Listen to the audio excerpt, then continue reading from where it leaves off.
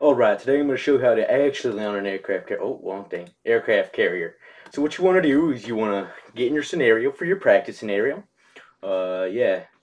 Wait till this loads and wait for all the errors to go through. Because 97 mods is a great thing to have.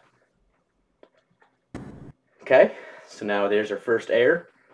okay, no problems here. Oh, okay, we're in.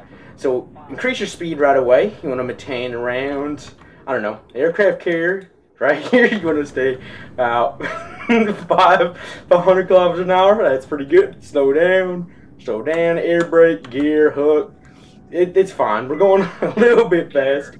That's okay though. Uh, increase speed, and right before you're about to hit it, you want to go inverted and eject. Now, what this does is you land. So right there, boys, is how you land on an aircraft carrier. If you see, I'm fine.